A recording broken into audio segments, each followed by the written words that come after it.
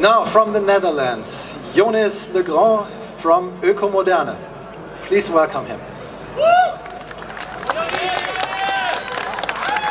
Hi, um, I'm speaking on behalf of Joris van Dorp, who's a member of the Eco-Modernists. He wasn't able to come, and my name is similar enough that I'm speaking in his stead.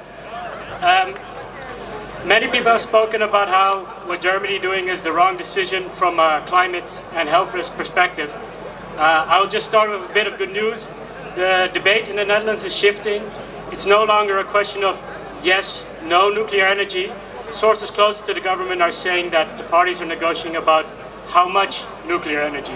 Will we have four or eight reactors?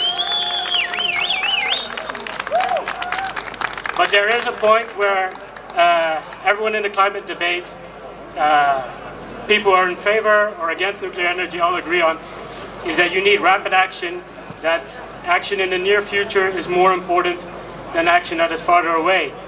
And that is why it makes no sense that while we have these plans to build new reactors, uh, Germany and Belgium are closing their reactors, which are, for the large part, perfectly fine carbon neutral powerhouses. So, again, this is again where we are coming here and we're asking Germany, reconsider your decision listen to the arguments that have been made today. Uh, this is a mistake. There is always a, a way to change.